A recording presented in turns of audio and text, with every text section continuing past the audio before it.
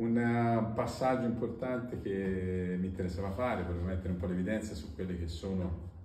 le attività che Ambiente ha sviluppato recentemente, soprattutto nel campo della sostenibilità, che sono diciamo, un po' il nostro fiore all'occhiello dell'ultimo periodo, l'attività ultima che abbiamo avviato. La nostra storia nasce da, da molto lontano, siamo nati nell'84 in, in una zona nemmeno così fertile dal punto di vista delle richieste ambientali, e quindi è stato duro iniziare un'attività dove andavamo a offrire dei servizi che la gente capiva po' male, quindi oggi parlare di sostenibilità rispetto a quella che è un po' la nostra origine mi fa anche un enorme piacere perché vuol dire che quello che è stato un po' il messaggio che noi in qualche modo abbiamo trasmesso, ci abbiamo sempre creduto su questi temi, è un messaggio che poi alla fine è passato. E oggi quello che una volta facevamo fatica solo, solo a far capire alle persone quello che dovevano fare, oggi è diventato invece un qualcosa che ci viene richiesto dal mercato, che c'è sempre maggiore attenzione,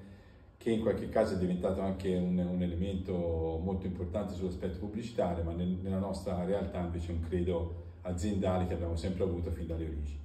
Quindi noi siamo nati con questo spirito, battaglia iniziale per, per imporci su, su temi dell'ambiente e della sicurezza, dell'ambiente soprattutto, la sicurezza è venuta un pochino dopo come temi e siamo sempre stati presenti sul territorio, allargandoci piano piano su tutto il territorio nazionale, con attività anche all'estero, eh, partendo da una, un'area di provincia come può essere Massa Carrara, quindi una zona anche diciamo un po' dec- decentrata rispetto a quello che è l'area toscana, siamo riusciti ad, oggi ad essere una realtà importante in tutta l'Italia. Per il secondo anno abbiamo deciso di fare il bilancio di sostenibilità, l'avevamo già fatto l'anno scorso, Quest'anno lo riproponiamo in maniera anche un po' più estesa, quindi ci eh, andiamo avanti su quello che è il percorso perché crediamo che attraverso anche un'applicazione pratica, un'applicazione diretta delle nostre attività all'interno nostro sia un buon elemento di partenza per tarare il sistema, per capire cosa offrire poi anche ai clienti, come offrirlo e come, eh, quindi imparare anche a gestire le, le, attività interne. Abbiamo eh, quest'anno deciso di allargare quella che è la, la, competenza, l'attività svolta per il servizio interno di eh, bilancio sostenibilità con quello che è il CDP, quindi quello che è un po' il cambiamento climatico, cioè il rendere pubblico, abbiamo esteso il questionario CDP al nostro bilancio, di modo che questa volontà che noi abbiamo di eh, internalizzare questo servizio diventi un qualcosa che vogliamo anche pubblicizzare all'esterno, quindi non è un qualcosa che facciamo per noi stessi, è partito come qualcosa che volevamo tarare su di noi, ma che è offerto alla, alla disponibilità, alla lettura anche delle, dei partner, dei, degli amici, dei clienti, dei consulenti, di altre, di altre, figure. Quindi allargare un po' quella che è la, la nostra visione, quella che è la, la, la possibilità di discutere di questi temi lo abbiamo ritenuto strategico e quindi abbiamo inserito anche questo discorso del CDP a integrazione quindi del questionario CDP a integrazione di quello che era il bilancio sostenibilità fatto nel 2020. Quindi oggi eh, ci diamo anche degli obiettivi che sono quelli che porteremo avanti nel prossimo futuro, abbiamo delle altre idee che eh, vanno un po' in questa direzione,